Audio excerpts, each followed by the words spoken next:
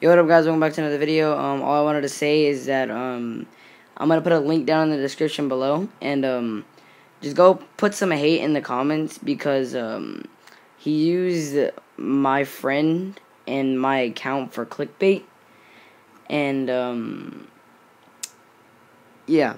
So um, just go on, just uh, click on that link down below. It's gonna send you to his video, and just um, say that Noah sent you there, and just um